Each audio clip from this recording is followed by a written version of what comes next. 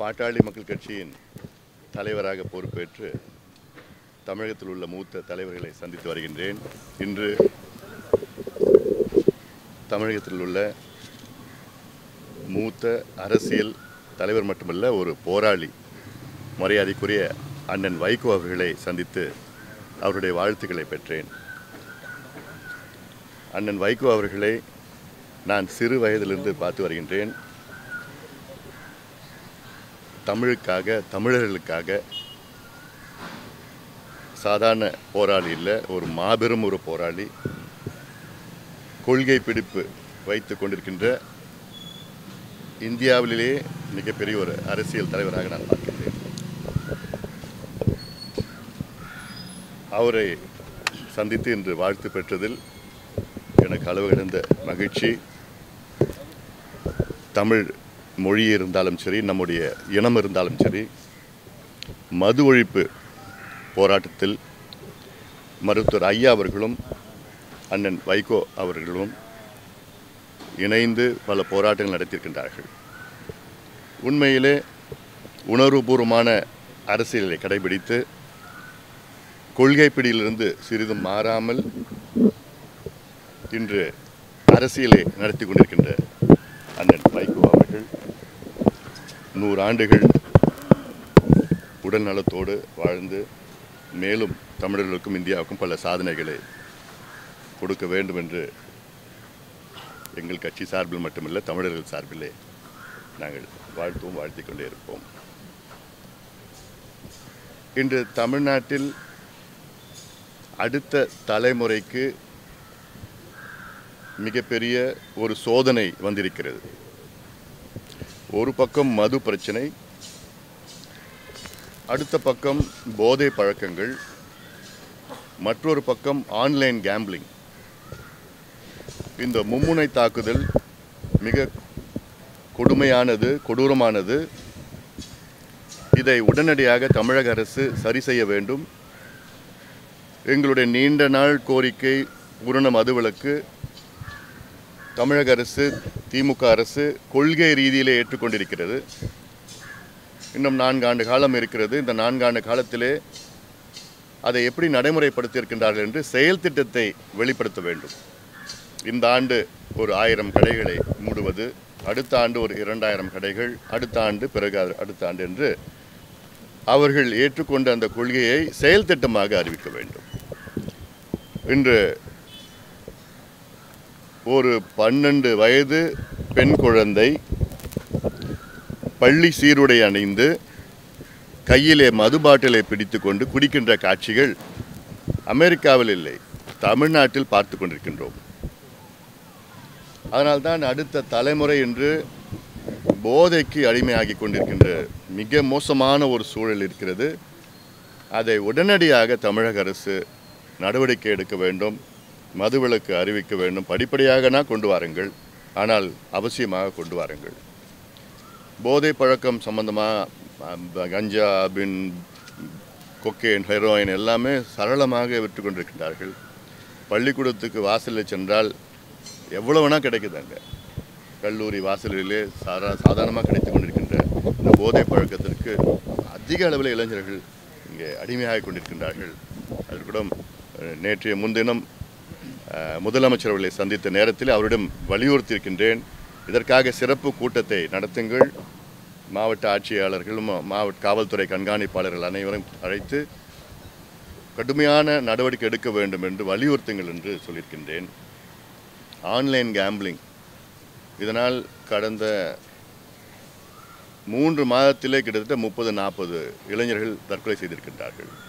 நேற்று கூட காவல்துறை அதாவது டிஜிபி அவர்கள் தமிழகத்தின் காவல்துறை டிஜிபி அவர் ஒரு காணொலி வெளியிட்டிருக்கின்றார். அதில் அதிக அளவிலே இளைஞர்கள் தற்கொலை செய்து கொண்ட இருக்கு செய்து கொ- தொடங்கிவிட்டார்கள் என்று சொல்லியிருக்கிறார் அது தொடங்கலை அது நடந்துட்டு இருக்குது. எத்தனையோ குடும்பங்கள் வந்து இந்த ஆன்லைன் கேம்லிங்களால் நாசமாகிட்டு இருக்கு அதனால் இந்த மும்முனை தாக்குதலிலிருந்து அடுத்த தலைமுறையை தமிழக அரசு காப்பாற்ற வேண்டும். அவருடைய கடமை அது.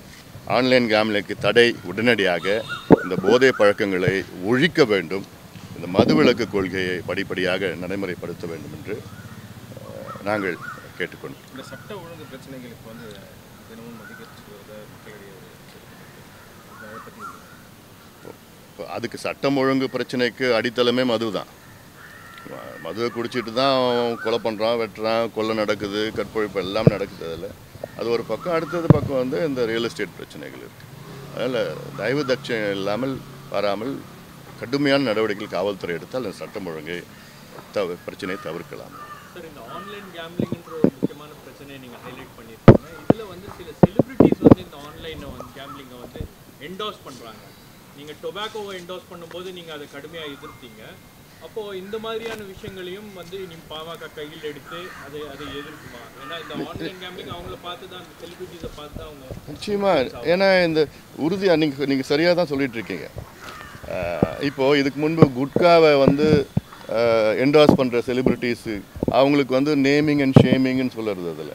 அப்படி பண்ண பிறகு தான் அவங்க வந்து அதை தவிர்த்துட்டாங்க. ஆன்லைன் கேம்லிங்னா இது எப்படின்னா தொடக்கத்தில் இதில் வந்து ப- பத்தாயிரம் ரூபாய் இருபதாயிரம் ரூபாய் நாங்கள் வந்து இலவசமாக நாங்கள் கொடுக்குறோன்னு அப்படி ஒரு தூண்டுதல். அதுக்கப்புறம் வந்து அதில் ஐம்பதாயிரம் ரூபாய் அறுபதாயிரம் ரூபாய் லாபம் வரும். அதன் பிறகு உடனடியாக அது கொஞ்சம் கொஞ்சமாக கொஞ்சம் நட்டத்தில் வருது. இதில் சில செலிபிரிட்டிஸ்லாம் பார்த்தீங்கன்னா நாங்கள் ஒரு கோடி சம்பாதிச்சிட்டோம் ரெண்டு கோடி சம்பாதிச்சிட்டோம்னு சொல்லிட்டுலாம் அதில் சில விள- விளம்பரங்கள்லாம் வந்துட்டுருக்கு. இதெல்லாம் இந்த இது போன்ற செலிபிரிட்டிஸ்லாம் அதை தவிர்க்க வேண்டும். நிச்சயமாக அது நல்லது கிடையாது. உங்களுடைய சுய லாபத்திற்காக கோடிக்கணக்கான இளைஞர்களை வாழ்க்கையை நாசமாக்கக்கூடாது.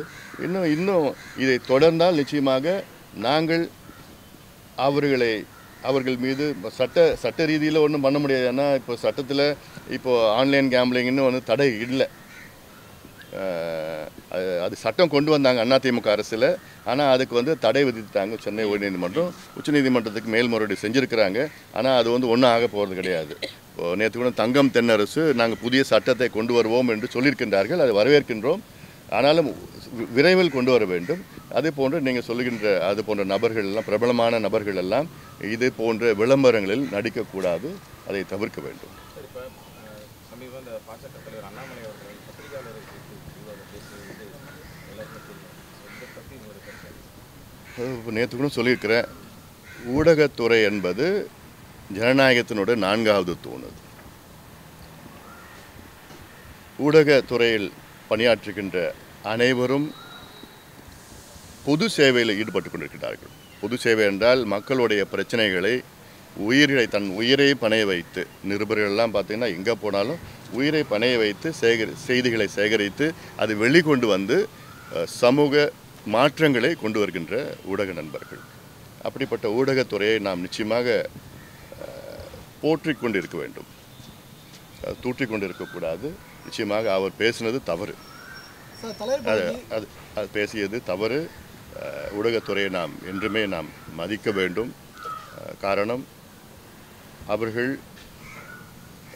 இப்போ இந்தியாவை தமிழ்நாடு எடுத்தீங்கன்னா தமிழ்நாட்டுக்கு இந்தியாவுக்கோ ஊடகத்தால் மிகப்பெரிய மாற்றங்கள் நல்ல வகையான மாற்றங்கள் வந்து வந்து கொண்டிருக்கிறது. அதனால் நிச்சயமாக அவரை நாம் என்றும் பாராட்டிக் கொண்டே இருப்போம் ஊடகத்தை சார் தலைவர் காலதாமதமாக வந்ததா யோசிக்கிறீங்களா நிச்சயமா இல்லைங்க. எங்க எங்க என்- எனக்கு- என்னை பொறுத்த வரைக்கும் என்றைக்குமே அவர் தான் எங்கள் கட்சி தலைவர். ஏன்னா இருபத்தைந்து ஆண்டு காலமாக எங்கள் கட்சிக்கு மிக சிறந்த முறையிலே பணியாற்றி இன்னும் பணியாற்றி கொண்டிருக்கின்றார். எங்களுக்கு வந்து ஸ்ட்ராட்டஜி புதுசாக வந்து பிஎம்கே டூ பாயிண்ட் ஓ என்ற புதிய செயல் திட்டத்தை நாங்கள் வெளிப்படுத்தியிருக்கின்றோம் செயல்படுத்தி கொண்டிருக்கின்றோம். அந்த அடிப்படையில் தான் இது போன்ற மாற்றங்கள் வந்து எங்கள் கட்சிக்குள் வந்து ஒரு ஒ- ஒளிமயமான ஒரு எதிர்காலம். பாட்டாளி மக்கள் கட்சியினுடைய தலைமை பொறுப்பை ஏற்றிருக்கக்கூடிய ஆருயிர் சகோதரர் டாக்டர் அன்புமணி ராமதாஸ் அவர்களை எதிர்நோக்கி இருக்கிறது. அவர் மத்திய அமைச்சராக இருந்த பொழுது இந்தியாவுக்கே வழிகாட்டக்கூடிய வகையில் பல்வேறு சாதனைகளை சாதித்திருக்கிறார். எனவே இந்த காலகட்டத்தில் இந்த பொறுப்புக்கு வந்திருப்பது தமிழ்நாட்டுக்கு நல்லது இளைய தலைமுறைக்கு நல்லது பொதுவாழ்வுக்கு நல்லது என்ற வகையில் அவர் புகழ் மென்மேலும் வளரும் என்று நான் தெரிவித்துக் கொள்கிறேன். நன்றி நன்றி நன்றி.